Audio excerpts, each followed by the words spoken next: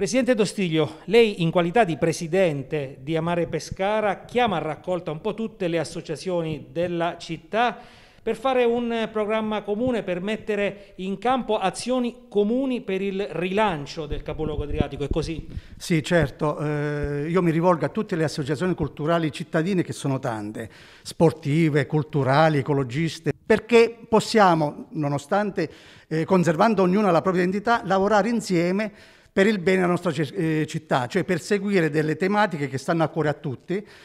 liberi e lontani dai partiti politici e dalle loro beghe. A noi non interessano i partiti politici, possiamo fare benissimo politica anche noi, forse anche meglio, perché siamo animati da un, un forte eh, senso civico e possiamo ehm, migliorare sempre di più la nostra città, a cui ci teniamo molto. Non volete sicuramente sostituirvi eh, alla politica, ai partiti, agli amministratori della città, ma volete dare un contributo affinché Pescara possa ancora crescere. Un contributo fattivo, tant'è vero che eh, io direi anche da subito mh, mm, di incontrarci preliminarmente, per esempio nella sede dell'Associazione Culturale Amare Pescare dove, dove ci troviamo in questo momento, redigere tutti insieme un documento congiunto eh, nel quale indicare eh, lo, eh, il modus operandi del politico, cioè come un politico dovrebbe comportarsi e le priorità che bisogna perseguire